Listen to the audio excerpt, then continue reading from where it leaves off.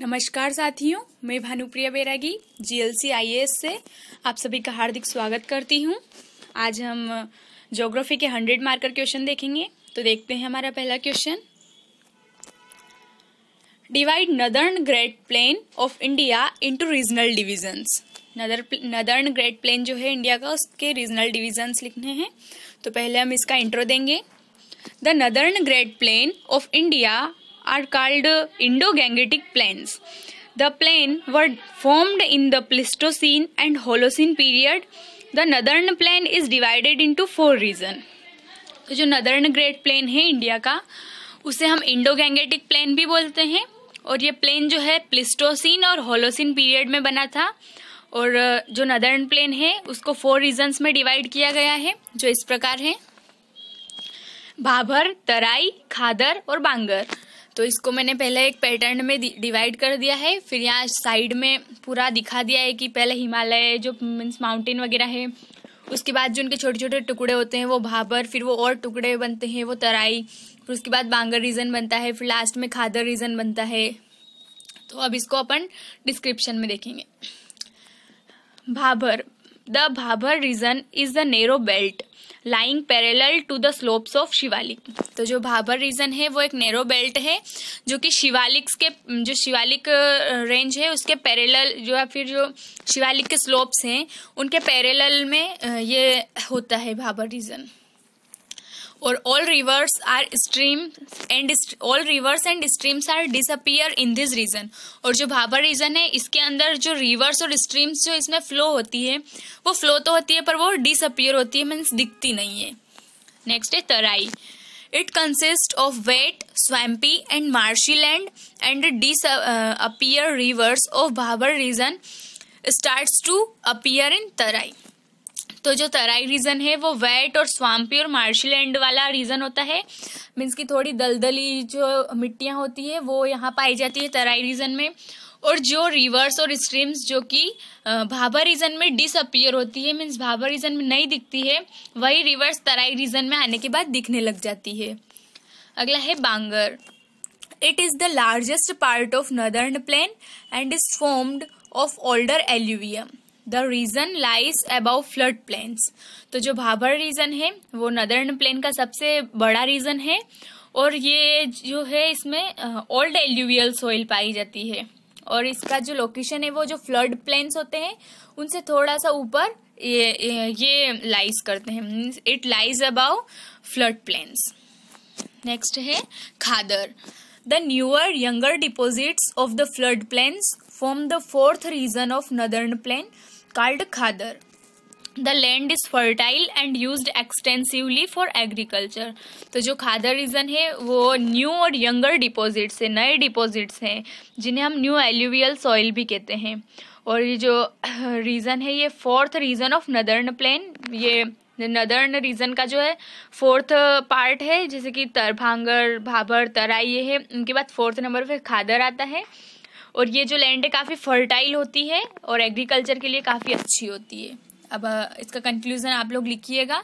हम देखते हैं next question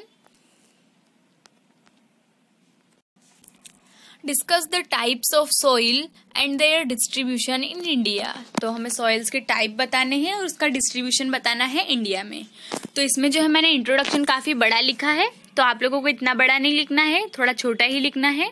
और सिर्फ़ आप इसमें इंट्रोडक्शन में सॉइल की डेफिनेशन लिख सकते हैं। काफ़ी इतना चलेगा। मैंने काफ़ी बड़ा लिखा है।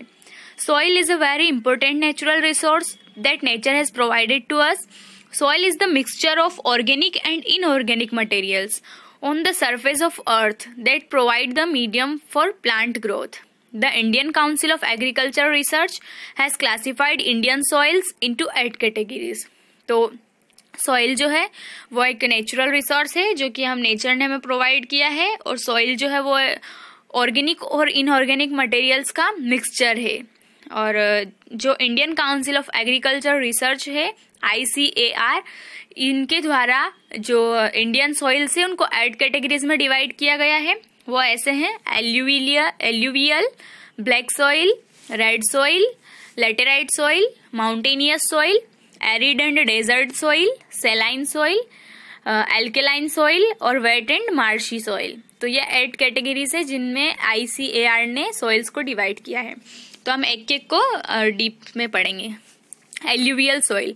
It constitute about 43 percent of total land area it considered as most fertile soil, which found mainly in coastal and deltaic region तो जो एल्यूवियल सॉइल है, वो जो टोटल लैंड एरिया है इंडिया का, उसका 43 परसेंट पर है, मिलती है। और ये जो है, काफ़ी फर्टाइल सॉइल मानी जाती है, सबसे ज़्यादा फर्टाइल होती है। और ये जो है मेनली डेल्टाइक और कोस्टल रीजन में पाई जाती है। नेक्स्ट है black regur soil it formed by lava and suitable for cotton it is rich in aluminium calcium iron lime iron lime etcetera तो जो रेगुर या ब्लैक सोइल है, ये लावा से बनती है और ये सब, सबसे ज़्यादा अच्छी कॉटन के प्रोडक्शन के लिए होती है।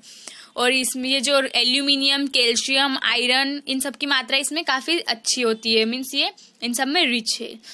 नेक्स्ट है रेड सोइल तो formed from crystalline and metamorphic rocks its red colour due to iron content तो जो रेड सोइल है, वो मेटामॉर्फिक प्रोसेस से बनती है, मेटामॉर्फिक रॉक्स जो है, उनसे बनती है। और इसका कलर रेड होता है क्योंकि इसमें आयरन कंटेंट होते हैं, इसलिए इसका कलर रेड होता है। Laterite soil it formed in area of heavy rainfall due to due to washing away of lime and silica from top soil तो जो लेटेराइट सॉइल है, वो जब हैवी रेनफॉल होता है और हैवी रेनफॉल होने की वजह से जो लाइम और सिलिका है टॉप सॉइल का अपर सॉइल का, उसका लाइम और सिलिका जो है वो वॉशिंग अवे हो जाता है। मीन्स वहाँ से हैवी रेनफॉल होने की वजह से सिलिका और लाइम स्टोन का बह जाना। और फिर जो सॉइल बचती है, वो होती है लेटेराइट सॉइल और नेक्स्ट है forest and mountainous soil. It is formed by mechanical weathering caused by rain, snow, etc. और acidic in nature. अगली है हमारी arid and desert soil it is generally sandy and saline in nature तो जो arid और desert soil है वो Sandy होती है थोड़ी रेतीली टाइप की होती है और उसका जो नेचर है वो सेलाइन होता है और सेलाइन एंड एल्केलाइन सॉइल इस सॉइल को हम उसारा सॉइल भी कहते हैं means also known as asara soil infertile for agriculture और ये जो है एग्रीकल्चर के लिए अच्छी नहीं होती है सेलाइन और एल्केलाइन सॉइल जो है वो इनफर्टाइल होती है एग्रीकल्चर के लिए wet and marshy soil also known peaty and organic soil तो जो वेट और मार्शी सॉइल है इसको हम पीटी या ऑर्गेनिक सॉइल भी कहते हैं अब यहाँ पर आपको मैप बना के दिखाना है कि कौन सी सॉइल किस जगह पर मिलती है तो ये एक छोटा सा मैप है फिर इस तर, इस तरीके से आप शो करें कि कौन सी जो सॉइल है वो किस जगह पर और किस एरिया में पाई जाती है। अब नेक्स्ट क्वेश्चन देखते हैं। हमारा नेक्स्ट क्वेश्चन है। Describe flood affected areas of India तो जो फ्लड अफेक्टेड एरियाज़ हैं इंडिया के उनके बारे में लिखते हैं। When the stream spread their water in nearly near by adjacent area after cutting their bank the condition is called flood such condition observe in coastal area तो जो जब स्ट्रीम्स मीन्स जो पानी की या महासागरों की जो धाराएँ हैं, वो उनका पानी जो किनारा है, उस किनारे से भी अंदर ले आती है। मीन्स जो लैंड एरिया है, उस लैंड एरिया को काट कर भी लैंड एरिया के अंदर की ओर बह जाती है तो उससे फ्लड आता है। तो उसी कंडीशन को हम फ्लड कहते हैं। और ये जो कंडीशन है, ये स्पेशली जो कोस्टल एरिया होते हैं, तटीय क्षेत्र, उनमें दिखाई देती है। National Flood Commission divided flood affected areas in three category on the basis of frequency तो जो नेशनल फ्लड कमीशन है, इसने फ्लड अफेक्टेड एरियाज़ को थ्री कैटेगरी में डिवाइड किया है, उसकी फ्रिक्वेंसी के बेस पर। पहला है area of maximum frequency the area where flood occur every year means maximum frequency area मतलब ऐसा एरिया जहाँ पर हर साल फ्लड आते हैं। जैसे कि Brahmaputra valley lower Ganga valley delta regions of Godavari Krishna Mahanadi and Kaveri basins of rivers like Gandak Kosi etcetera इन सभी एरियाज़ में हर साल लगभग जो फ्लड है वो देखने को मिलता है, इसलिए इनको मैक्सिमम फ्रिक्वेंसी वाले एरिया में रखा गया है। दूसरा है हमारा एरियाज़ ऑफ़ मीडियम फ्रिक्वेंसी अब मीडियम फ्रिक्वेंसी वाले एरियाज़ देखेंगे।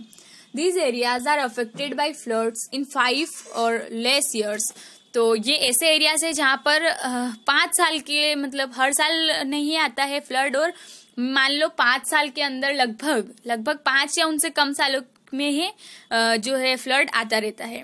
और तो उसको मीडियम फ्रिक्वेंसी एरिया कहते हैं। Most of flood affected areas are included in इसमें भी कई ऐसे एरियाज़ हैं, वो आप देखिएगा। ऐसे मीडियम फ्रिक्वेंसी वाले एरियाज़ कौन कौन से हैं? अगला है areas of minimum frequency these are the areas receiving less rainfall but in this area flood condition are observe due to sudden cloud burst तो ये जो मिनिमम फ्रिक्वेंसी वाला एरिया है, यहाँ पर पानी कम आता है तो इस वजह से ज़्यादा फ्लड हो नहीं पाते हैं। लेकिन कभी कभी यहाँ पर बादल फटने से, बादल फटने, अचानक से बादल फट जाते हैं क्लाउड बर्स्ट हो जाते हैं तो इस कंडीशन से कभी कभार यहाँ पर बाढ़ आ जाती है और स्पेशली इसमें जो हम एग्ज़ाम्पल लिखेंगे मिनिमम फ्रिक्वेंसी एरियाज़ में वो लिखेंगे हम, जो जो लैंडलॉक स्टेट्स हैं लैंडलॉक स्टेट जिनके किनारे, जिनका पानी से ज़्यादा संबंध नहीं होता, जैसे कि एमपी हुआ और इस तरीके से राजस्थान हुआ, जो लैंडलॉक होते हैं, वहाँ पर वो मिनिमम फ्रिक्वेंसी एरियाज़ में आएँगे। और अब इसको हम मैप में शो कर देंगे इन फ्लड अफेक्टेड एरियाज़ को। ये इस तरीके से मैप बना के आप दिखा दीजिएगा। अब हम अपना अगला क्वेश्चन देखते हैं। हमारा नेक्स्ट क्वेश्चन है discuss the structure of atmosphere atmosphere का स्ट्रक्चर जो है वो डिस्कस करना है। अब एक मिस्टेक जो है वो अक्सर स्टूडेंट से हो जाती है, वो ये है कि एटमोसफियर का स्ट्रक्चर पूछा है तो स्ट्रक्चर में हम लिखेंगे ट्रोपोस्फियर स्ट्रेटोस्फियर इनके बारे में लिखेंगे। और अगर कंपोजिशन ऑफ़ एटमोस्फियर पूछे तो फिर हम उसमें बताएँगे गैसेस के बारे में कि नाइट्रोजन इतनी है सीओ टू ऑक्सीजन वगैरह इतनी है, वो होता है कंपोजिशन ऑफ़ एटमोस्फियर और स्ट्रक्चर ऑफ़ एटमोस्फियर में हम ट्रोपोस्फियर स्ट्रेटोस्फियर इन के बारे में बताएँगे। तो स्टार्ट करते हैं question an atmosphere is the layer of gases surrounding a planet और other celestial body let we see the structure of atmosphere. तो एटमोसफियर जो है, उसमें गैसेस की बहुत सारी लेयर्स होती है। बहुत सारी गैसेस की लेयर्स होती है और ये सिर्फ़ अपना सिर्फ़ अर्थ पर ही नहीं ऐसे बहुत सारे प्लैनेट्स है जहाँ पर एटमॉस्फेयर मिल जा मिलता है। मीन्स इसको हम ऐसा नहीं लिखेंगे कि सिर्फ़ अर्थ में ही एटमॉस्फेयर ऐसा कि किसी भी सेलेस्टियल बॉडी में ये एटमॉस्फेयर होता है जिसमें जो गैसेस की लेयर्स है वो पाई जाती है। इसमें हम पहला देखेंगे troposphere it is the lower most and important layer of atmosphere As all the weather phenomena occur in this layer, in it temperature decreases with increasing height तो जो ट्रोपोस्फियर है, ये क्या सबसे लोअर मोस्ट एयर है so lower most layer है atmosphere की। और इसकी सबसे मेन बात यह है कि यहाँ पर वेदर फिनोमिना मिलता है। मीन्स की जो मौसमी क्रियाएँ होती है, जैसे कि बिजली का कड़कना, पानी का गिरना, बारिश होना, इस तरह की जो वेदर फिनोमिना से है, वो सारे ट्रोपोस्फियर में होते हैं। और ये जो है, इसमें टेम्परेचर जो है, वो कम होता है, जैसे जैसे हाइट इंक्रीज होती है, वैसे वैसे। तो ये याद रखना है ट्रोपोस्फियर में टेम्परेचर डिक्रीज होता है, जैसे जैसे हाइट इंक्रीज होती है, वैसे वैसे टेम्परेचर डिक्रीज होता है।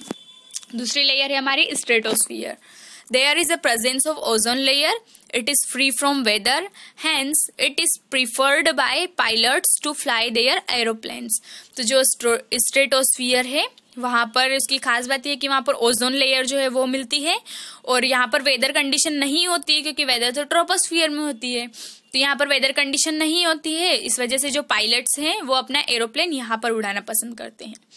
तीसरी है हमारी mesosphere temperature decreases with increasing height and reaches up to 100 degree celsius, which is minimum temperature of atmosphere. तो जो मेसोस्फियर है, इसमें क्या होता है कि जैसे जैसे हाइट इंक्रीज होती है, वैसे वैसे टेम्परेचर डिक्रीज होता है।